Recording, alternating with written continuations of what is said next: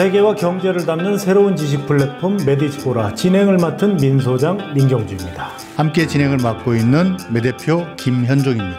저희가 세계와 경제를 다루면서 중동이라는 곳이 우리가 굉장히 멀게도 느껴지고 어떤 때는 굉장히 가깝게도 느껴지고 어, 또뭐 아는 것 같으면서도 잘 모르는 경우가 참 많아요. 그래서 오늘 최고의 전문가를 모시지 않았습니까? 예, 예. 우리 저 박정욱 PD님은 라디오 PD신데 중동을 정말 좋아하세요. 책도 쓰셨고 3프로 나가서 뭐 100만 클릭도 나오고 어. 오늘 어렵게 지금 모셨습니다. 아니 저는 이분은 7월에 그 피렌체 식탁에 예. 투고하셨던 그 글을 예. 보고 굉장히 인상이 깊었거든요. 만나보겠습니다. 박정욱 PD님 안녕하십니까? 안녕하십니까. 네, 안녕하십니까. 그동안에 여러 가지 프로그램들을 참 연출하셨던데 중동 정치 연구가 이 타이틀 어떻게 생각하십니까? 부담스럽습니다. 뭐 아까 잠깐 전문가라는 말씀을 하셨는데 전문가는 아니고요. 한국에는 전문가 말고 그 전문가하고 일반 대중을 이어주는 중간에 예, 대중적으로 소개해주는 어, 지식 전달자가 꼭 필요하다고 생각을 합니다. 이제 저는 그런 역할을 맡고 있는 것 같고요. 그다음에 이제 중동에 관심이 많기는 하지만 중동에 한정돼서 공부를 하거나 뭐 하는 것은 아니고 오히려 관심이 있는 건 아시아의 이슬람 문화권이라고 생각을 해요. 그 얼마 전에 CIA가 알 자와이리 빈라덴의 같은 그 후계자를 뭐 칼날 닌자 미사일이라고 그래서 죽였지 않습니까? 그 보도 중동에서는 어떻게 보도하던가요? 뉴스만 나와요. 그러니까 지금 우리가 연합뉴스 같은 걸로 보는 거고 크게 다른 뉴스가 아직 나오진 않고 예, 조금 더 깊이 들어가는 뉴스는 그럼 이후에 알카에다 후계자는 누가 될까에 대한 음, 이야기가 나오는데 여기서 초점은 후계자라고 불릴 만한 사람들이 죄다 지금 이란에 있습니다. 근데 문제는 이란이 보호하고 있는 인물들 중에서 후계자가 나오면 미국하고 이란 관계는 더 힘들어집니다. 지금 가뜩이나 어려운데 이게 또 어떤 꼬인 상황이 될까 에 초점이 맞춰져 있긴 합니다.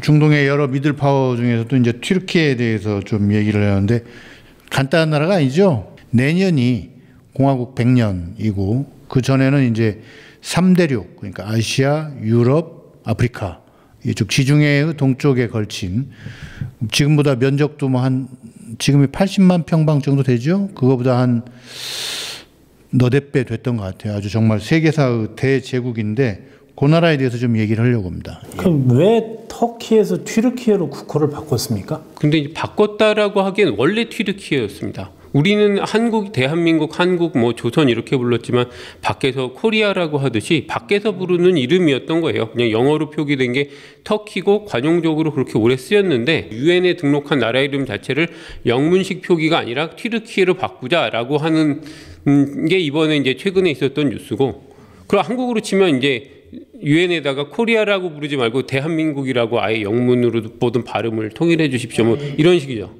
한국 대통령이 예컨대 유엔에 그렇게 해서 대한민국으로 호칭하기로 했다면 지지율 뭐 한 10% 올라가지 않아요? 터키도 그런 튀르- 튀르키예도 그런가요? 그걸로 올라갈 것 같지는 않습니다. 지금 상황이 뭐 아시겠지만 워낙 경제도 어렵고 뭐 그냥 어떻게 대중의 여론을 반영한 것 같긴 한데 그게 뭐 어떤 깊은 정치적인 의도를 가지고 했다라는 생각은 많이 들지는 않더라고요. 저도 찾아봤는데 튀르키예가 이렇게 주목받게 된 것은 뭐 그전에도 있었지만 특히 에르도안의 출현 이후에 강력한 어떤 정체성이 나타나고 있는 것 같아요. 어떤 인물입니까? 그 전까지는 사실 우리가 냉전 시대에 에, 터키, 튀르키예에 대해서 뉴스를 많이 접하지 않았어요. 그런 이유는 조용했기 때문입니다. 액션이 크질 않았어요. 그러니까 나토 회원국으로서 그냥 나토의 전체적인 방향에 충실했고, 그다음에 주변 중동 국가들의 말씀과 어떤 갈등을 일으키지 않는 게 외교 관계의 핵심이어서, 그러니까 탈중동 입 유럽 이런 게 어떻게 보면은 과거 냉전 시기 20세기 튀르키예의 방향이었고 그러다 보니까 뉴스에 날만한 큰 사건이 국제적인 사건은 별로 일어나질 않는 거예요. 그 내부에서는 있을지언정. 하지만 에르도안이 집권한 다음에 큰 틀을 바꿔버렸습니다. 그러니까 이제 갈등이 생기고 이전에 있던 어떤 거대한 음, 질서가 깨지는 과정에서 많은 뉴스가 생산이 되죠. 어, 그러다 보니까 이제 우리는 예전보다는 훨씬 많은 튀르키예의 뉴스를 접할 수밖에 없는 상황이 되고 있습니다. 이렇게 볼 수 있을 것 같네요. 튀르키예가 이슬람 국가긴 하지만 뭐 히잡이나 이런 것도 안 쓰고 여성들도 아주 자유롭게 어, 허용이 되는 그런 곳 아니었습니까? 근데 에르도안이 들어온 뒤에는 많이 이슬람 쪽으로 이렇게 회귀하고 있다면서요. 에르도안이 이슬람주의자입니다. 그러니까 애초에 좀 후에 제가 이따가 터키 현대사를 잠깐 개괄을 좀 해드릴 텐데 좀 해주세요. 지금 할까요 그냥? 예. 20세기라는 건 유럽이 아닌 나, 다른 나라, 이 지구상의 다른 나라들에게 20세기 중반은 서구화와 민족주의라는 두 단어로 추계하게 될 수 있습니다.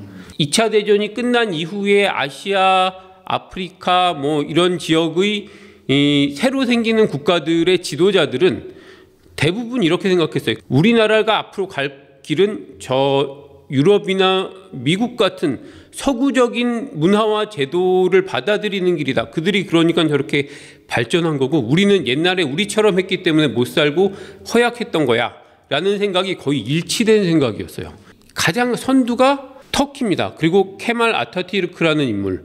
우리 케말 파샤라고 많이 하죠. 파샤는 칭호인데 무스타파 케말이라는 과거 오스만 제국의 장군인데요. 1923년도에 튀르키예 공화국을 건국하면서 이 사람의 이름을 따서 케말리즘이라고 불리는데요. 케말리즘을 국가의 어떤 기본적인 정신, 초석으로 놨어요. 케말리즘 핵심이 뭐냐면 하나는 세속주의입니다.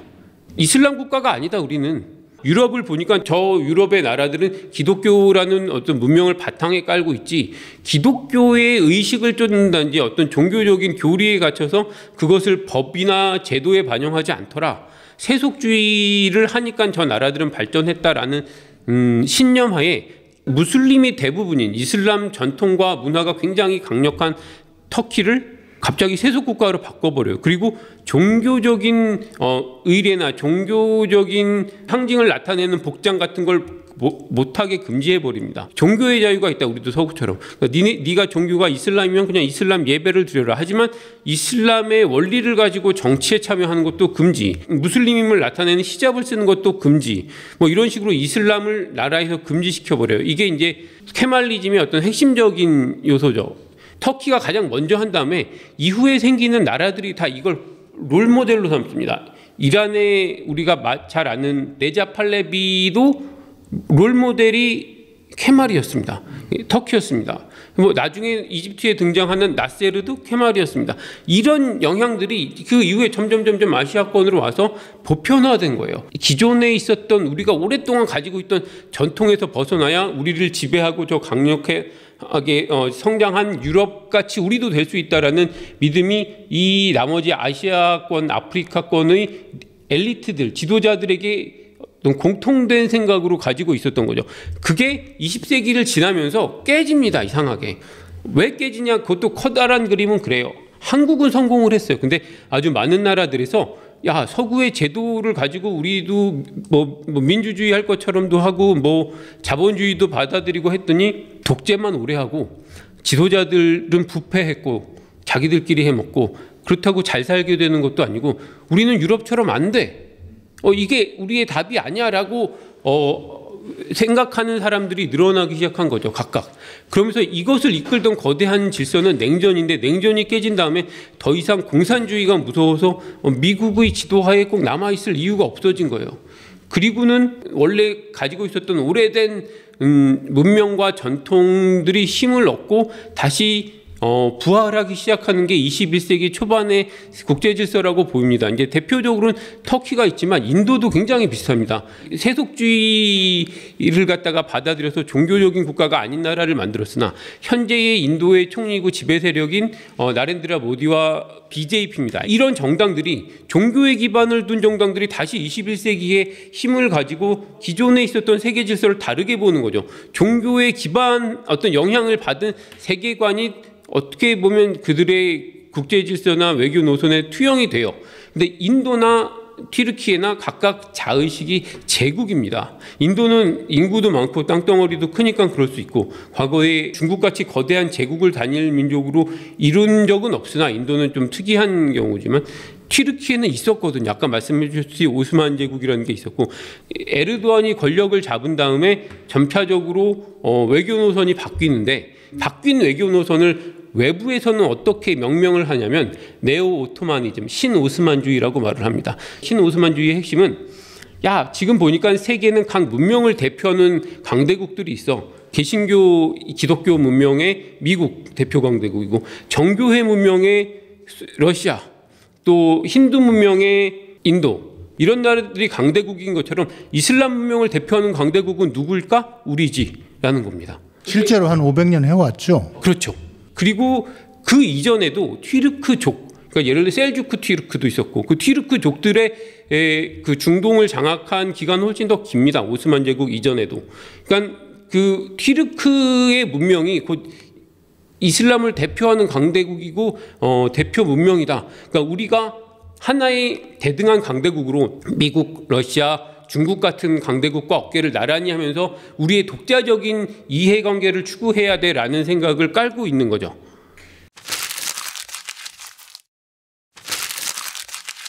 그래서 이제 에르도안 얘기로 다시 예. 1990년대는 튀르키예 국민들에게는 아주 어떤 악몽 같은 시기였어요. 냉전이 끝난 다음에 90년대 초반에 튀르키예는 이제 EU가 생길 때 EU에 가입하고 싶어 했죠. 근데 유럽에서는 거부를 했어요. 명분은 야 너희는 우리 EU가 지키는 어떤 기준에 미치지 못해 인권이니 뭐 여러 가지 문제가 권위주의고 뭐 그 문화가 미치지 못해. 근데 그때는 정말 순수하게 튀르키예 엘리트들은 유럽이 되고 싶어 했고 그럼 유럽의 일원이 되고자 EU의 일원이 되고자 울며 겨자 먹기로 내부의 정치 제도를 정비를 해요. 그때까지는 그래서 이슬람은 정치 참여를 못 하다가 어 90년대 초반에 이제 EU에 가입하기 위한 내부 개혁의 일환으로 정치 참여가 허용이 됩니다. 공간이 열린 거죠. 어, 근데 이제 악몽 같은 시간이라는 건 뭐냐면 투르구트 외잘이라는 쿠르드계 튀르크 대통령이 이, 이제 잠시 대통령이 됐는데 이 사람은 쿠르드족하고 평화 협상을 하려고 했어요. 배경을 말씀드리면 튀르키에는 공산주의를 제외하고 가장 음, 제1의 안보의 적이 누구냐면 주적이 쿠르드 반군입니다. 분리주의 세력. 쿠르드 노동자당이라는 좌익 분리주의 쿠르드 정당 PKK라고 하는데요. 테러도 벌이고 내전에 가까운 어, 전투를 치르면서 그들을 갖다가 진압을 했어요. 투르구트 외잘 대통령은 어, 본인을 지지하는 그 각료들하고 같이 쿠르드하고 평화 협상을 하려고 그러죠. 이것도 하나의 조건 중에 하나였습니다. EU가 내거는 왜냐하면 쿠르드족에 대한 어, 탄압이 소수민족 탄압이기 때문에 그건 EU에서 받아들일 수 없다. 너희 행태는 인권 탄압이다라고 했기 때문에 해결하려고 그랬는데 어느 날 이분은 독살이 됩니다. 아, 예. 그리고 그 나머지 각료들도 하나하나 다른 이유로 죽습니다. 뭐 자동차 사고가 나든지 차에 폭탄이 폭발물 터지든지 전원이 사망을 합니다. 그럼 뭐가 있는 거죠? 이들을 움직이는 바깥의 힘이 에르게네콘이라고 부르는데요. 영어로는 deep state라는 말을 씁니다. 에르게네콘은 뭐냐면 프리메이슨이라는 말 들어보셨어요? 사실은 전 세계를 움직이는 그림자 정부가 있다라는 어떻게 보면 음모론 같은 시각인데 터키에서는 그, 그들이 에르게네콘입니다. 아무리 대, 국민들이 어, 선거를 통해 뽑아봤자 이들을 움직이는 사실 비밀 결사가 따로 있다. 에르게네콘이 군부 엘리트, 뭐 재벌 아니면 관료 중에 엘리트 뭐 이런 소수가 장악을 하고 사실은 그 안에서 다 해먹는 거다. 그래서 그들의 뜻에 어긋나면 저렇게 투르구트 외잘 대통령처럼 다 죽는다. 어, 라는 게 에, 국민들의 믿음이었고 사실인지는 알 수 없습니다. 이런 믿음이 보편적으로 펴진다는 건 뭐냐면 정치에 대한 실망, 염증이 강하다는 얘기예요. 그러면 어떻게 되느냐? 또 저 무리들에게 통제받는 저 안에서 누구를 뽑아봤자 마찬가지다라는 생각, 정치를 개혁해 줄 걸 열망하는 국민들의 열망이 커지죠. 그때 에르도안이 나타난 그렇죠. 이때 이제 이슬람주의가 어, 정치에 들어오면서 점점점 힘을 얻습니다. 대표적으로는 에르바칸이라는 사람, 에르도안의 어떻게 보면 멘토 같은 사람인데요. 이 사람이 복지당이라는 정당을 이끌고 정치계에 들어와서 선전을 합니다. 이제 총선 때 그리고 이 지방선거에서 터키에서 가장 중요한 도시죠. 이스탄불 시장 선거에 아주 젊은 에르도안을 정치 초보인데 출마시키고 당선을 시킵니다. 엄청난 돌풍을 일으켰죠. 에르도안이 시장이 되기 전까지 이스탄불은 뭐 수- 상하수도 문제도 제대로 안 돼 있고 쓰레기도 넘치고 대기 오염도 심하고 뭐 교통 문제도 심하고 아주 살기 굉장히 나쁜 도시였다. 그러니까 아무도 손대지 않는 상태로 어, 문제가 걷잡을 수 없이 커져서 어떻게 해야 될지 누구도 해결하지 못했는데 에르도안이 몇 년 만에 해결을 해냅니다. 보란 듯이. 그리고 대중들은 신뢰를 가지게 되죠. 봐라. 니들 저 에르게네콘의 통제를 받지 않는 바깥에 있는 이슬람주의가 권력을 잡았더니 유능하기까지 하다. 깨끗하고 유능하다 라는 이미지를 얻는 겁니다. 그 다음 총선에서 에르바카는 원내 일당이 됩니다. 근데 이 기득권 세력들이 쉽게 그 원내 일당이지만 단독 과반이 아니기 때문에 쉽게 정부를 구성하도록 두질 않죠. 그래서 한 거의 1년이 걸려서 정부를 구성을 합니다. 그런데 또 에르바카는 너무 급격하게 친이슬람주의 노선으로 갑니다. 그때 이제 내세웠던 게 이런 겁니다. 나토에 대항해서 나토인데 터키가 나토에서 빠지고 야 이슬람 집단 안보 협력 체제를 만들자 뭐 이런 얘기를 한다든지 그 군부가 가만히 안 있죠. 그리고 야 이- 지금 저는 EU 만들자 아니 유로화를 만들잖아 EU가 우리 이슬람권도 디나르화라는 걸로 통합하자. 어. 통합- 안보 안보와 아, 통화에서 그렇죠. 독자 노선. 모델로 어, 우리는 이슬람권을 다시 뭉치자. 우리가 중심이 돼서라는 주장을 해요. 기존의 기득권 세력들이 절대 가만히 있을 수가 없고 아니나 다를까 1997년도에 쿠데타 비슷한 것이 일어납니다. 연성 쿠데타라고 하는데 군부가 어, 앙카라 근처에 탱크와 장갑차를 보내서 이렇게 일렬로 쫙 막 행진하게 하고 위협하는 거죠. 너희 이 까불면은 뒤집어 볼 수 있어. 근데 여기에 이슬람주의로 가는 걸 반대하는 시민들이 가세를 해요. 그리고 결국 에르바칸은 사임을 합니다. 에르바칸이 사임을 하고 정부가 무너진 다음에 군부는 나서서 이슬람주의를 갖다가 각종 죄목을 붙여서 강력하게 탄압합니다. 그리고 그때 에르도안도 시장이었는데 투옥이 됩니다. 에르도안이 골똘히 생각을 했죠. 아 과연 이슬람주의를 계속 내세워서 미래가 있을까 이 나라에서 안 된다고 생각을 한 거예요. 한계가 있다. 우리를 지지해주는 소수의 열렬한 저 지지자들만 갖고는 집권을 하거나 안정적으로 이 나라를 이끌고 갈 수 없다 라고 생각을 해서 어, 에르도안이 그 자신의 멘토인 에르바칸과 결별을 선언하고 난 이슬람주의를 버리겠다. 라고 하고 새로 정당을 창당합니다. 그게 AKP입니다. AKP가 정의 개발당이잖아요.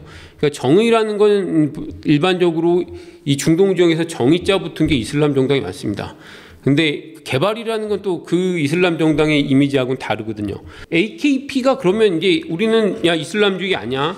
음, 그 우리는 세속주의고 민, 친서방 민주주의고 뭐 이런 어, 복지 국가고 이런 정책을 갖다가 어, 따를 거야라고 그런 음, 이미지를 가지고 새로 정치 참여했는데 그 AKP를 따르는 사람들은 누구냐? 이전에 이슬람 정당 복지당을 열렬히 지지했던 지지자들이 그대로 옮겨온 거예요. 그러니까 군부나 기득권 세력에서는 의심의 눈초리로 보죠. 믿기 어렵죠. 이 세력이 진짜 이슬람주의를 갖다가 버렸느냐. 현재까지도 에르도안은 나는 이슬람주의를 그때 버린 이후에 다시 이슬람주의를 내세우지 않는다라는 게 내건 입장입니다. 공식적으로는 아, 아직도 공식 그렇습니다. 아직도 그 AKP는 그래서 입장을 이슬람주의 정당은 아닙니다. 하지만 실제로 하거나 추구하는 것을 봤을 때는 이슬람주의적인 색채가 굉장히 강하게 묻어나오죠. 이후- 이후에 집권한 다음에 이렇게 해서 결국 집권을 하고 오늘날까지 오는 겁니다. 에르도안의 양력을 제가 쭉 보니까 18살 때 정치권에 입문을 해서 아, 그래요? 아 천재네. 예, 그리고 시장도 했고 투옥도 되기도 했었고 굉장히 파란만장한 정치 인생을 살았네요. 가만히 보니까. 그리고 일정 정도였던 성과도 내고. 그러면서 이슬람주의자이자 민족주의자고 어떻게 보면 자신들의 강력한 튀르키예 공화국의 건설을 주장하다 보니까 당연히 예, 지지 세력들이 좀 있었겠구나라는 생각이 좀 드네요. 정치 이력을 보니까요. 길거리에서 컸, 컸네요. 예. 이 에르도안이 한 유명한 말이 있습니다. 그러니까 저들은 저들이라 하면 이제 이슬람주의를 탄압한 기존 정당들이죠. 저들은 당원들이 있지만 우리는 신도들이 있다.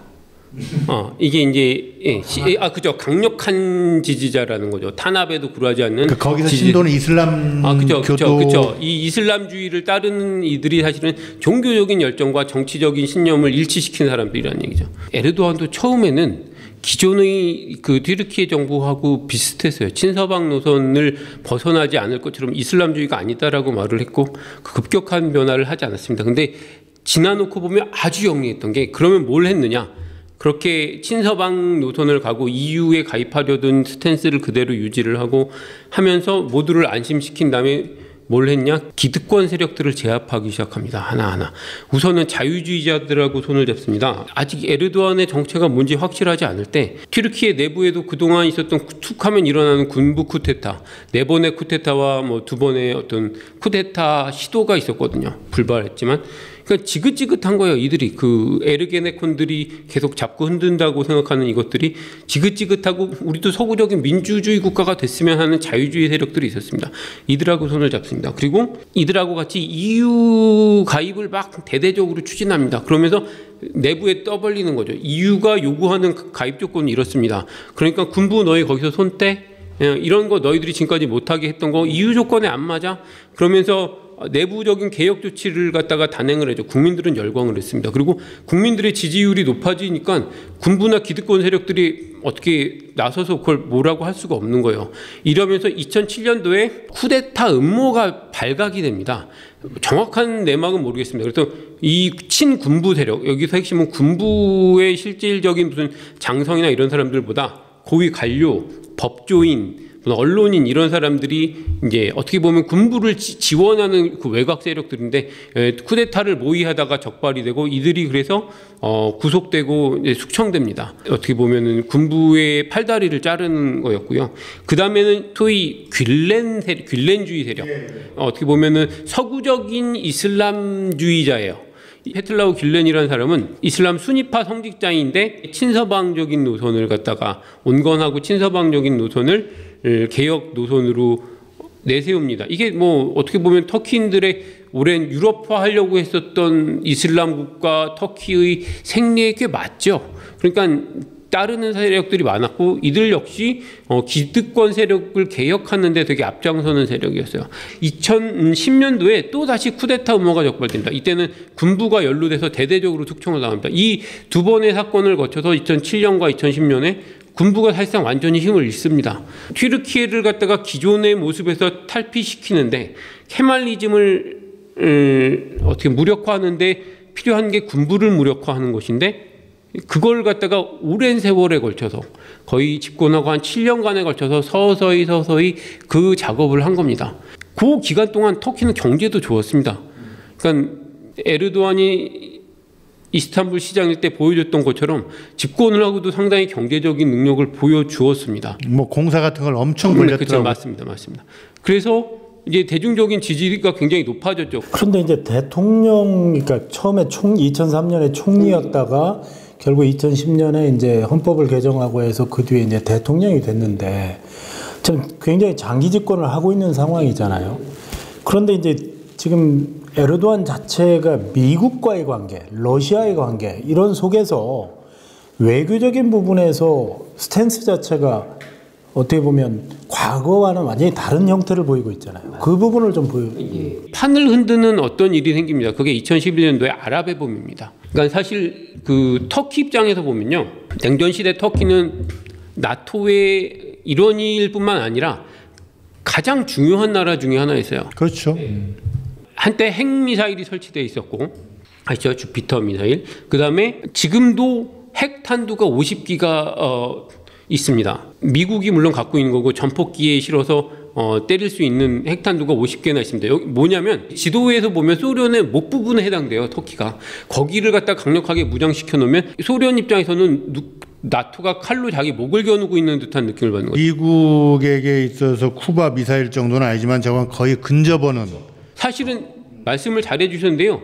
쿠바 미사일 사태를 후르시초프가 일으킨 배경에는 먼저 터키에다가 주피터 미사일을 갖다가 미국이 설치한 게 원래의 이유입니다. 배경입니다. 그래서 야 너희도 우리한테 핵미사일을 겨눠? 우리도 할래라고 어, 쿠바에다가 설치하고 서, 결국은 사실은 어, 3차 대전 위기까지 갔었죠. 쿠바 미사일을 후르시초프가 철회했지만 결국 뒤이어서 미국도 터키에 있는 어, 핵미사일을 갖다가 철수시킵니다. 어, 그러면서 사실은 지금 비긴 전쟁이거나 오히려 후르시초프가 더 많이 얻었다는 시각도 있습니다. 그, 근데 아무튼 그렇게 이제 터키는 서방에게 중요한 나라였는데 탈냉전이 되고 나서 터키가 경험하는 건 뭐냐면 중동에 계속 내전이나 무슨 어떤 전쟁이 일어나고 그 난민들이 터키로 밀려 들어오는 거예요. 그리고 그 와중에 생긴 이슬람주의 테러리즘 세력들이 터키에 와서도 막 테러를 일으키고 혼란스러운 틈을 타서 아까 가장 위험한 적수라고 보고 있는 쿠르드 분리주의 세력이 막 다시 기승을 부리기 시작하는 거죠. 탈냉전 하에서 기존의 미국의 틀 안에 있는 것은 별로 우리 안보에 도움이 안 되더라라는 생각을 마침 이제 2010년대까지 갖고 있었죠. 그때 이미 이 미국이 이라크를 침공해서 전쟁이 있었고 이 이라크 내전이 있었고 뭐 이런 혼란한 상황을 겪고 있었던 상황이죠. 그런데 2011년도에 아랍의 봄이 일어나면서 이제 전 중동이 들썩거리죠. 아랍의 봄 중에서 이제 핵심적인 문제가 되는 게 시리아 내전인데요. 뭐 아시겠지만 굉장히 오랫동안 내전이 지속됐고 아랍의 봄 다른 데는 어떻게 보면 진압이 됐거나 뭐 일부에서는 뒤집는데 성공을 했거나 이랬는데 시리아는 정부군과 반군 그리고 또 제3, 4의 세력 한 네 가지 세력들이 서로 자웅을 겨뤘습니다. 지금도 시리아 내전은 아니, 완전히 끝나지 않았죠. 계속되고 있고 예, 예, 예. 거기서 러시아하고 만나는 거죠. 맞, 맞습니다. 결국은 쿠르드족이 문제가 되는 거잖아요. 아, 그죠. 쿠르드족이었는데 그때의 또 문제 맞습니다. 그때는 또 IS라는 세력이 기승을 부리고 IS에는 세력이 굉장히 컸었잖아요 한동안 터키도 위협을 느꼈었습니다. 그러니까 IS를 갖다가 제압하는 데 있어서 미국은 직접 참전하고 싶진 않고 시리아 내에 누군가를 이용을 해야 되는데 그게 이제 쿠르드족이었고요. 그래서 쿠르드족에게 무기와 자금을 지원해서 IS와 싸우도록 했는데 독립을 또 보장해주는 조건으로. 그렇죠. 근데 이제 쿠, 터키에서 분리주의 운동을 하던 그 쿠르드 세력들이 시리아로 많이 넘어가 있었거든요. 그러니까 터키 눈에는 어떻게 보이냐면 미국이 우리랑 싸우는 적을 지원을 해주고 있네. 이때 적은 IS가 아니라 그 쿠르드족입니다. 미국이 보는 적은 IS였는데 쿠, 터키가 생각하는 적은 쿠르드인 거죠. 여기서 엇갈리기 시작합니다. 아주 강력하게. 그래서 당시 에르도안 정부는 어, 미국에게 여러 번 오바마 정부와 뒤이은 트럼프 정부에게도 어필을 합니다. 이거 문제 있다. 어, 우리는 받아들일 수 없다. 하지만 미국은 뭐 다른 방법이 없는 거예요. 그리고 어, 이미 그 모델로 성공을 했던 게 이라크 내전 때 에, 이라크 쿠르드족을 지원해서 어, 내전을 진압을 하고 그 다음에 그 쿠르드족에게 쿠르드 자치 국가를 갖다가 만들도록 자치 지역을 형성을 해줬거든요. 반자치 독립 상태로 비슷한 모델 갖다가 적용을 시리아에서도 하려고 했었던 거죠. 미국은. 근데 터키로서는 받아들일 수 없는 겁니다. 무장을 한 세력이 자치 국가까지 만들면 그들은 결국 국경 타고 넘어와서 우리를 공격할 거다라는 생각이었던 거죠. 터키는 이때 아, 더 이상 미국의 그늘 아래 있을 필요가 없다는 생각을 한 것 같고 그래서 오히려 러시아하고 대화를 하기 시작합니다. 그래서 야 이 시리아 내전을 여차저차 저차해서 어, 끝내자. 그래 러시아하고 협상이 된 건 러시아는 야 그냥 이전에 시리아 정부군이 승리하는 쪽으로 어, 이걸 결론을 내. 예. 어, 그럼 터키는 받아들일게. 하지만 저기 남아있는 반군은 우리 쫄병들이니까 쟤네는 건들지 마. 플러스 저 쿠르드는 인정 못해. 미국이 어, 자치권을 주려고 했던 쿠르드는 인정 못해. 러시아도 오케이. 이렇게 이렇게 된 거죠. 쿠르드로 서로 어떻게 보면 협력하게 된 거예요. 이 여기서 협력 관계가 한 걸음 더 나갑니다. 그게 음, 러시아의 방공 미사일 시스템 S400 시스템을 갖다가 도입을 하는 거 이건 어마어마한 일입니다. 나토 국가고 나토라는 건 주적이 러시아인데 러시아를 제압하기 위한 군사 동맹인데 러시아의 방공 미사일 체계를 들여온다는 건 러시아하고 군사 협력을 한다는 얘기거든요. 그러니까 미국이 이거는 너 도저히 더 이상은 네가 우리 편이라고 봐줄 수 없다. 선 넘었다라고 얘기를 했죠. 미국이 아, 확 때려버리고 싶은데 미국의 걱정은 그걸 거예요. 이 와중에 그래서 아예 걔네가 나토에서 나가버리고 어, 러시아에 붙어버리면 골치 아픈데 어, 지금 견제를 해주는 세력인데 반대로 러시아도 근데 비슷한 생각을 하는 겁니다. 러시아와 터키가 밀월 관계만은 아니거든요. 부딪히는 일도 굉장히 많고 시리아뿐만 아니라 어디서 경쟁을 하고 있냐면 중앙아시아에서 날카롭게 경쟁합니다. 중앙아시아가 지금도 우크라이나 사태로 보면 알듯이 어, 러시아는 중앙아시아 전체가 자기의 영역이라고 생각을 하고 있는데 이 에르도안이 등장한 다음에 중앙아시아를 새롭게 봅니다. 범튀르크주의. 야 거기 있는 애들 다 우리 튀르크 형제들이야. 너희 다 튀르크 계통이잖아. 언어도 같은 조상 계통이고 우리 먼 조상이 같아. 우리 한동안 저 중앙아시아를 함께 달리던 어, 우리 튀르크 전사들 아니냐. 우리 우리가 너희 뒤를 봐줄게 이렇게 하면서 어, 그들 나라의 영향력을 확대하고 있습니다. 실질적으로 이게 가장 부딪히는 게 아르메니아하고 아- 아제르바이잔 전쟁 때 아제르바이잔은 튀르크계거든요. 여기를 터키가 지원해서 사실 승리를 했죠. 그러니까 러시아로서는 굉장히 골치 아픈 존재가 되는 거예요. 피아가 막 섞여 있네요. 맞습니다. 근데 그렇다고 함또 때리자니 그럼 제가 도로 미국 편에 가버리면 자기 목을 겨눌 텐데 이것도 아닌 것 같은 거예요.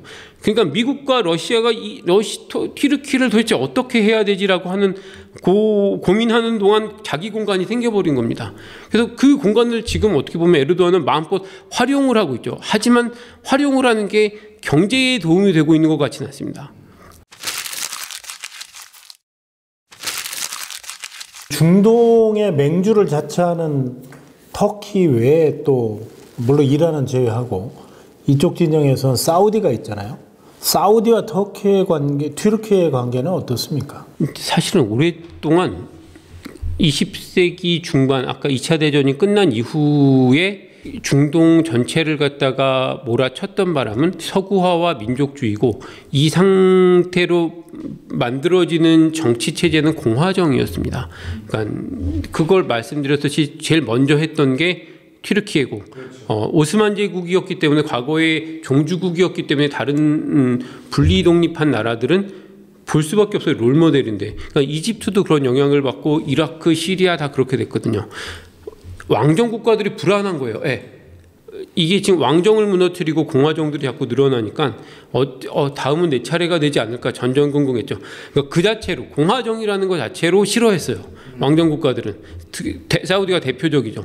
공화정의 기운이 자기네 나라로 건너올까봐 굉장히 두려워하고 오랫동안 전전긍긍했는데 시간을 지나고 보니까 공화정인 나라들은 다들 못 살고 내전과 전쟁을 겪고 뭐 이런 상황이 벌어지고 석유가 펑펑 나는 왕정 국가들은 잘 살아서 아무튼 국민들을 먹여는 살리거든요. 요르단, 바레인 뭐 예, 요르단은 사실은 뭐 석유가 나진 않습니다만 예, 그쵸 아랍에미레이트 예, 그다음에 뭐 쿠웨이트 뭐 이런 나라들이 다 카타르 부국이 됐죠. 그러니까 자신감이 생긴 거고 이 내부에서 중동 내에서 평판도 달라졌습니다. 예전에는 아 터키가 멋있었는데 사우디가 오히려 일자리도 많고 뭐 거의 가- 가는 게 먹고 살만 하다네 뭐 이런 평판이 점점 생기는 거죠. 그러니까 이제 자신감이 생기는 거고 그래서 옛날부터 원래부터 존재 자체로 서로 사이는 안 좋았습니다. 왕정과 공화정이라는 것 때문에. 터키 입장에서 보면은 투르키 아니 튀르키예 입장에서 보면 아라비아 반도의 나라들은 정말 변방 국가죠. 응. 진주조개 잡이나 하던 그렇습니다. 오스만 제국 때는 일, 터, 일부러 터치도 안- 야 사막인데 뭐 그냥 니들 부족 우리한테 그 고개만 숙이면 그냥 부족 따로 이렇게 부족 국가 만드는 거 용인해줄게 이런 쳐다도 안 보는 어, 그런 정말 시골 촌동네였죠. 근데 이제 지금은 석유로 인해서 경제가 안정되고 그러면서 전반적으로 왕정 국가에 대한 신도가 올라가고 공화정 국가들은 다뭐 정치가 헤매는- 불안정하고 좀 그죠? 헤매고 경제도 있고. 어렵고 전세가 역전돼 있는데 이제 이거보다 에르도안이 아까 말씀드렸듯이 이집트에 있는 무슬림 형제단을 지원을 해줬거든요. 근데 그 무슬림 형제단이 이집트뿐만 아니라 사실 사우디아라비아에서도 문제가 많았어요. 무슬림 형제단의 눈으로 봤을 때는 이 사람들은 이, 이슬람주의 공화정을 외치는 혁명가들이거든요. 무슬림 형제단이라는 게 사우디 왕정이 안 좋아하죠, 당연히. 위협을 느끼죠. 그 사람들 눈에 봤을 땐 사우디 왕정도 가짜거든요. 어떻게 보면은 국부인 석유를 소수의 왕족들이 다 지들이 가져먹고 민중들은 저렇게 내버려두고 이건 부패한 세력이다라는 게 그들의 눈에는 그렇게 보이는 거고 사우디 왕정으로 좀 불편한데 이들을 지원하는 튀르키예하고 사우디가 그래서 불편했습니다. 그래서 오랫동안 사이가 안 좋았는데 최근에 무슨 일이 있었냐면 MBS 무하마드 빈 살만 사우디 왕세자가 바이든 대통령하고 만나기 전에 먼저 중동 순방을 먼저 했습니다. 바이든 오기 전에. 그럴 때 튀르키예를 방문을 했어요. 근데 튀르키예를 방문한 게 초청을 한 겁니다. 튀르키예가. 그리고 거기 가서 에르도안이 아주 정중하게 우리 투자 좀 해달라. 이제는 경제가 나쁘니까 그렇게 고- 자존심을 굽힐 수밖에 없게 된 상황이 됐고 무함마드 비살만은 굉장히 당당하게 고개를 들고 어 그래 우리 너희 좀 도와줄게 그렇게 어렵지 뭐 이렇게 하는 지경이 됐죠.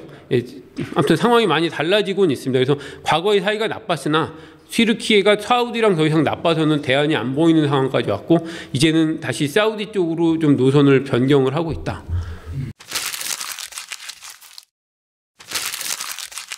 저도 터키를 가본 적이 있는데 문화적으로 거기도 과거에 동로마 제국의 하나의 영향권에 있었고 이슬람 문화권 정말 문화의 거대한 용광로 같은 곳이더라고요. 그 사람들의 성향이나 이런 기질들 자체가 정말로 믹스돼 있다. 그리고 이렇게 민족주의적으로 정체성을 갖고 제국의 역사를 갖고 있는 자존심도 굉장히 센 것 같고요. 어떻게 보세요? 전체적인 어떤 국민성 같은 거를 쉽게 판단은 못 하겠어요. 다만 에르도안이 집권하면서 그걸 건드리고 있는 건 확실합니다. 제국적 감성. 오스만주의라는 것 자체가 과거에 우리가 이 오스만 제국이었어? 뭐 저 유럽의 하는 조그만 나라들하고는 상대도 안 돼. 우리가 훨씬 강했고 벌벌 떨었어. 왕년의 기계와 감성과 어떻게 보면 프라이드를 갖다가 어, 부각을 시키고 자꾸 일깨우면서 그게 어떻게 보면 에르도안의 인기의 한 원, 비결이기도 합니다. 실제로 오스만 제국이니까 우리는 중동의 여러 일에 우리가 목소리를 내야 돼. 과거에는 탈중동 어, 입 유럽이라고 말씀을 드렸잖아요. 이제는 어떻게 보면 야 EU에서 우리 안 받아줘. 알았어. 우리 다시 어, 오스만 제국으로 들어갈게. 일단 우리 그럼 예전의 우리 영역에 대해서 발언권을 높여 하면서 실제로 높입니다. 이스라엘에 대해서는 야 팔레스타인 탄압하지 마. 그래서 탄압 사건이 있을 때마다 중동 전체 모든 국가 중에서 가장 강력하게 비판을 하는 게 현재도 터키입니다. 이집트하고 원수가 한동안 됐었는데요. 이집트 정부가 제일 싫어하는 게 무슬림 형제단이라는 이슬람주의 세력인데요. 이걸 보호자 역할을 자처합니다. 이제 이런 것 자체가 에르도안은 스스로 이슬람주의자라고 말을 하지 않지만 이슬람 정체성을 가지고 싸우고 있는 이슬람주의 세력을 지원하는 대변자 역할을 본인들이 계속 하죠. 그리고 더 나아가서는 현재는 리비아 내전에도 개입을 합니다. 북, 북아프리카까지. 예. 그러니까 이제 어떻게 보면은 왜 개입을 해 라고 했을 때 대외적으로는 몰라도 대내적으로는 야 그 다 왕년에 우리 영토였어. 오스만 제국 영토였어. 어쨌든 지금 터키는 나토 회원국이죠. 맞습니다. 근데 EU 가입국은 아니잖아요. 만년 후보국이고. 그러니까 경제적인 부분에서 사실은 EU에 통합이 돼야 실질적인 건데 터키 입장에서 보면 터키의 그 공군기지 두 군데를 미국이 전략적으로 아주 잘 사용을 하고 거기에 배치된 핵무기들이 모두 러시아 쪽을 향하고 있는 거잖아요. 굉장히 전략적으로 중요한데 그거에 비해서 자기들 대접을 못 받고 있다는 생각이 에르도안이 그런 국민적 감정을 잘 자극해서 지금 이런 상황을 계속 가고 있는 거다. 그리고 그런 상황 속에서 러시아로부터도 실리를 얻고 미국으로부터도 사실 외면할 수 없는 그런 측면에서 본다면 우리가 지금 우크라이나 전쟁으로 다시 넘어갈 수밖에 없는데 우크라이나와 러시아 간의 전쟁에서 협상이라든가 지금 그 중요한 중간자적 역할을 터키가 하고 있잖아요. 특히 에르도안 대통령이 이건 우리가 어떻게 봐야 됩니까? 뭐 잘하는 거죠. 곡물 수출 길을 만들었으니까 잘하는 건데 에르도안은 지금 지금 이제 국내 지지율이 계속 떨어지고 있는 상태고 특히 경제가 너무 안 좋으니까 내년 중반기에 총선 및 대선이 있는데 장담할 수 없는 상황이 돼버렸거든요. 그러니까 이제 뭔가 만회를 해야 되는데 당장 경제를 살릴 어떤 뭐 뾰족한 수가 보이지 않는 것 같고 일단 이제 대외적인 위신을 세우고 싶어 하는 것 같습니다. 그래서 국제적인 관심이 쏠린 사안에 중재자로 나서서 뭔가 자기가 그걸 중간에서 딜을 하는 그런 존재로 부각을 시킨 데까지 성공을 했고 뭐 어떻게 보면 오랜만에 굉장히 박수를 받았는데 그게 뭐 국내 정치에 얼마나 플러스가 되고 있는지는 잘은 모르겠습니다. 아, 조금 압축해서 얘기하자면 이제 권투 선수 중에 그런 말 있잖아요. 링을 넓게 쓰는 선수. 에르도안 대통령이 그런 것 같아요. 외교나 이런 데에서 링을 넓게 써서 뉴스는 많이 만들고 터키의 어떤 존재감, 위신은 좀 세우는데 결국은 이 양반도 이제 경제에서 무너지기 시작하는 게 아닌가. 경제가 이렇게 나빠진 건 특별한 이유가 있나요? 트럼프 대통령이 당시에 그 S400 미사일을 도입을 하니까 경제 제재를 일부 하지 않았습니까? 경제 제재도 하나의 원인이고요. 워낙 경상수지 적자가 계속 누적이 되고 있었어요. 경상수지 적자가 누적이 되고 외화 표시 채권이 증가를 하고 그럼 당연히 환율이 올라가죠. 통화 가치가 떨어지죠. 리라화 가치가 떨어집니다. 이제 여기까지는 잘한 건 아니지만 있을 수 있어요. 어느 나라나 겪을 수 있는 상황이죠. 보통 통화 가치가 떨어지고 인플레이션 오면 금리를 올립니까 내립니까? 인플레이션이 되면 금리를 올리죠. 올리죠. 튀르키예의 중앙은행장들도 재무부 장관도 어, 통화 정책을 당연히 금리 인상으로 간단 말이죠. 너무 상식적인 일이니까. 그런데 정부에서 명령을 한 겁니다. 야 금리를 올리니까 여론이 나빠지죠. 살기 힘들어지니까. 그래서 에르도안 대통령이 중앙은행 총재가 말 안 듣는다고 2년간 4명이나 바꿨어요. 어, 어. 그리고는 지금 있는 중앙은행 총재는 말을 듣습니다. 말을 듣는다는 건 인플레이션인데 금리를 내립니다. 제가 궁금한 건 우리도 IMF 외환 위기를 겪은 게 이제 외환이 빈곤해졌잖아요. 그 들어오는 돈보다 나가는 돈이 더 많으면 이렇게 되는 건데 터키는 그게 좀 구조적인 것 같아요. 이게 자꾸 반복되는 게 뭐 구조적인 유- 원인이 있나요?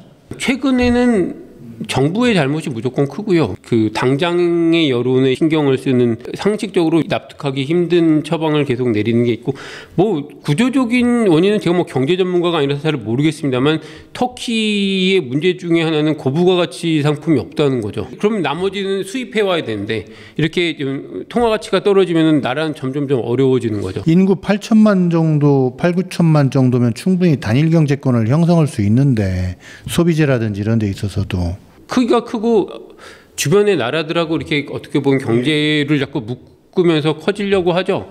커지려고 하는데 과거의 집권 세력들이 대한민국처럼 음, 수출 위주의 어떤 경제 개발을 하거나 고부가치 상품 내지는 뭐 중화학 공업에 투자한다거나 하질 않았었어요. 그냥 수입 대체 산업화와 농업이 위주였고 에르도안도 농업을 쉽게 내치지 않습니다. 왜냐하면 지금 지금 민심은 도시는 그렇죠. 도시는 야당이고 농촌이 에르도안 AKP거든요.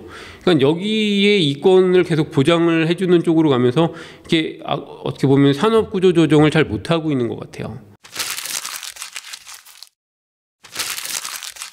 에르도안 체제가 끝나가는 건가요? 뭐 다음 총선 대선 어떻게 될 것 같으세요? 좀 조사를 해봤는데요. 그러니까 지금 지지율이 20% 후반에서 30% 초반 정도로 AKP 지지율이 나오더라고요 여론조사에서 다당제 국가라는 걸 생각하면은 높은 겁니다. 예, 이게 일단 유력한 정당이 한 다섯 개 되거든요. 우리는 양당제인데 그렇게 나오면 낮은 건데, 예, 그러면 이제 단일 정당으로는 가장 강한 지난 2018년 총선 때 AKP의 득표율이 42%였습니다. 그러니까 이제 지금은 그거보다 한 10% 정도 떨어져 있는 상태고 그게 이제 경제로 까먹고 있는 상황인데 지금 뭐 인플레이션이 어마어마하잖아요. 올해 동안 연간 인플레이션이 지금 78% 정도가 됩니다. 음, 7월 말까지 그 이대로 가면은 100%, 예, 100% 그렇죠. 그러니까 1년 만에 예를 들어서 만 원 하던 게 이제 2만 원 하는 게 되는 거죠. 그러니까 이 지경인데도 아직 30% 수준으로 나오는 건 저는 대단하다고 생각을 하고요. 어, 그게 더 시- 놀랍죠. 신기하죠. 그리고 그 경제적인 실정을 만회하는 바른 담론이 먹혀들고 있다라는 얘기밖에는 안 돼요. 새로운 지도자는 좀 잘 안 보이나요? 그러니까 지금은 이제 워낙 강하니까 에르도안이 강하니까 큰 야당과 이제 군소 야당까지 해서 6, 6개 야당들이 내년도 총선을 갖다가 이제 연합 선거 체제로 치르려고 지금 논의 중입니다. 어떻게 될지 모르겠는데 그래서 이제 대통령 후보도 단일 후보를 내세우고 뭐 이렇게 또 선거구도 나눠 갖고 나오고 뭐 이렇게 갖고 이제 AKP하고 해- 하려고 죠 이게 성사만 된다면은 어, 효과를 발휘할 텐데 또 한 가지 그 2016년도에 쿠데타가 일어날 뻔하다가 미수에 그치고 좌절이 됐었죠. 그 이후에 사실은 에르도안 체제는 사실상 완전 권위주의화 됐는데 언론이 장악이 됐습니다. 그러면서 어떻게 보면 야당에게 되게 불리한 지형인데요. 친정부 매체와 언론인들만 어, 목소리를 낼 수 있는 구조가 돼서 그러니까 튀르키예도 그 예전에 그 제국 경험이 있고 뭔가 궁정 정치 같은 게 좀 발달했고 현재 권력의 뭐 야당 통제술이라든지 이런 게 상당히 발달했을 것 같은데 과연 야당 단일 전선이 이루어질까? 음, 지켜봐야죠. 근데 2019년도에 지방선거에서 그 이스탄불 시장에 지금 야당 후보가 됐습니다. 에르켄 이마모울루라는 사람인데 엄청나게 정부에서 방해를 했어요. 이 사람을 각 작정 꼬투리를 잡아서 문제가 있다고 해서 선거에서 이겼는데 재선거를 치렀는데 재선거에서 더 큰 표차로 이겨버렸습니다. 그러니까 사실은 민심이 떠나가고 있다는 거고 이스탄불의 상징적인 효과도 있죠. 그 사람 내보내야 되는 거 아니에요? 이스, 이스탄불 인구만 해도 한 2천만 가까이 되는데 에르도안처럼 이스탄불 시장 하다가 그 다음 집권하고 맞습니다. 에르도안이 본인이 이스탄불 시장이었기 때문에 이 사람을 정치적으로 크지 못하게 하려고 굉장히 애를 씁니다. 그러니까 위험하다는 걸 아는 거죠. 알- 예, 자- 아는 누구보다 거죠. 잘하는 그쵸, 거죠. 음. 그쵸. 근데 이 그래서 이제 내년 선거에 이마모울루가 후보로 나올까는 저도 지켜보고는 있는데 언젠간 나올 사람이라고 생각하는데 내년 후보로 보다 좀 유력하게 거론되는 사람은 에르도안 집권 초기에 외무장관이었고 그 다음에 에르도안 대통령 하에서 총리를 했었던 사람입니다. 아흐멧 어, 다부토울루라는 사람입니다. 아흐멧 다부토울루가 누구냐면 아까 말씀드린 신 오스만주의 외교 노선을 세운 사람입니다. 예, 그러니까 한동안은 아, 이게 그 같은 밥을 먹던 에르도안과 있다가 이제 결별한 사람인데 예, 미래당이라는 정당을 이끌고 있고 그런데 이 미래당의 의석수는 크지 않는데 이 사람은 명사예요. 그러니까 터키 내에서뿐만 아니라 이 그 다부토울루 외무장관은 유명했습니다. 유럽이나 이 일대에서 그 어떻게 보면 에르도안 다음으로 월드스타입니다. 정치인 가운데. 그러니까 이제 이 사람을 얼굴로 내세우려는 논의가 좀 강하게 일고는 있는 것 같아요. 그러니까 스스로 예, 내부 논의는 나로 결정됐다라고 이렇게 자꾸 흘리고 다니는 것 같은데 실제로 뚜껑은 좀 열어봐야 알 것 같습니다. 터키도 땅덩어리가 좀 크고 인구가 그 정도 되니까 어느 날 갑자기 지도자가 나타날 수 있는 건 아니고 좀 오랜 기간에 걸쳐서 이제 명망이 생겨야겠죠. 그런 점에서는 그 사람이 상당히 유력해 보이네요. 자, 앞으로의 전망을 좀 해보면서 이제 얘기를 좀 마무리할까 하는데요. 지금 우크라이나 전쟁으로 세계는 제1강대국 미국의 하락, 그리고 다자주의 질서로 흘러가는 듯 하고요. 상호 의존성이 더욱 커지고 있는 상황이다. 앞으로 터키, 튀르키예는 어떤 노선을 선택할까요? 어떻게 보면 가장 또 크게 변화하고 있는 게 21세기 튀르키예의 모습이고 이 흐름은 지속될 거라고 생각합니다. 그러니까 다시 서방의 질서 하에 그냥 그렇게 무릎 꿇고 들어가서 자신들의 안보를 보장받으려고 하지는 않을 거고 그게 별 도움이 실제로 안 됐고 이 중동의 위태로운 상황에서 나토가 별 영향력을 발휘하지 못했다. 그래서 튀르키예로서는 스스로 자신들의 이익이 무엇인지 계산을 할 수밖에 없었고 미국처럼 쿠르드족을 돕는 게 우리에게 부담과 오히려 불이익이 된다라고 판단을 하면 미국이 원하지 않는 방향으로도 행동을 했죠. 이게 이들이 판단하는 어떻게 보면 향후 외교 노선이고 하지만 그렇다라고 해서 대놓고 기존의 강대국들과 막 맞서면서 독자적인 세력을 구축하기에는 힘이 약하다. 아, 라는 건 뼈저리게 느꼈을 거예요. 이 미국에서는 되게 불안해합니다. 핵무기를 개발하려는 야심이 있는 나라 중에 하나로 튀르키를 꼽습니다. 실제로도. 그래서 그곳에 아직도 미국의 핵탄두를 둬도 괜찮은 건가? 이 튀르키예와 관계가 그 정도로 어, 미국과의 관계가 서로 신뢰 관계인가에 대해서 자꾸 의문을 던지는 전문가들이 미국 내에서 늘어나고, 그러니까 이 관계는 이렇게 좀 불안정하게 갈 것이고 점점 러시아와 협력이 늘어난다면은 결정적으로 현재 터키에 주둔하는 미군과 어, 배치되어 있는 핵무기가 이동을 할 수도 있고 그 시점이 돼서는 튀르키예가 결단을 하고 어, 핵 개발이나 뭐 이런 야심을 불태울 수도 있죠. 그러니까 이것을 사실 스톱을 시키려면 내부 정치가 친서방 세력이 다시 권력을 잡아야 되는데 그런 의미에서 일단 2023년 선거를 좀 지켜봐야 할 것 같습니다. 다만 저한테 또 내년 누가 튀르키예 대통령이 될지 돈 걸라 그러면 저는 아직 에르도안에게 걸겠습니다. 네.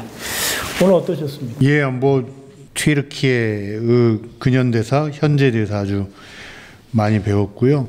저는 개인적으로 튀르키예를 보면 역사적으로도 지정학적으로도 참 그 풍성하고 축복받은 나라다. 지정학적으로도 딱 러시아 목을 잡고 있기 때문에 러시아가 튀르키예를 통하지 않으면 지중해나 대서양으로 못 나가니까 그런 데서는 페이바도 있고 여러 가지 있는데 이 경제 특히 산업을 좀 단단히 하지 않고는 이 나라가 장기적으로 괜찮은 middle power 국가로 가는 데는 좀 한계가 있겠다. 어, 고, 그런 생각이 오늘 들었습니다. 예. 영어에 이제 터키가 칠면조라는 뜻도 있고 겁쟁이라는 뜻도 있는데 이 튀르키예라는 원 용어는 용감한 이런 뜻을 갖고 있다고 합니다.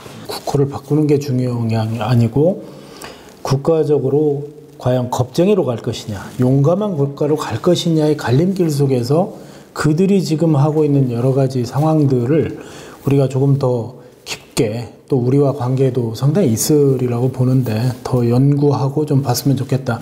그런 측면에서 오늘 박정욱 PD가 굉장히 좋은 insight를 저희에게 주셨다. PD로서 또 본업이 있는데 부캐로서 중동 지역에 대한 저런 전문적인 열정 이것이 훨씬 더 저는 보기 좋게 느껴졌습니다. 오늘 말씀 감사합니다.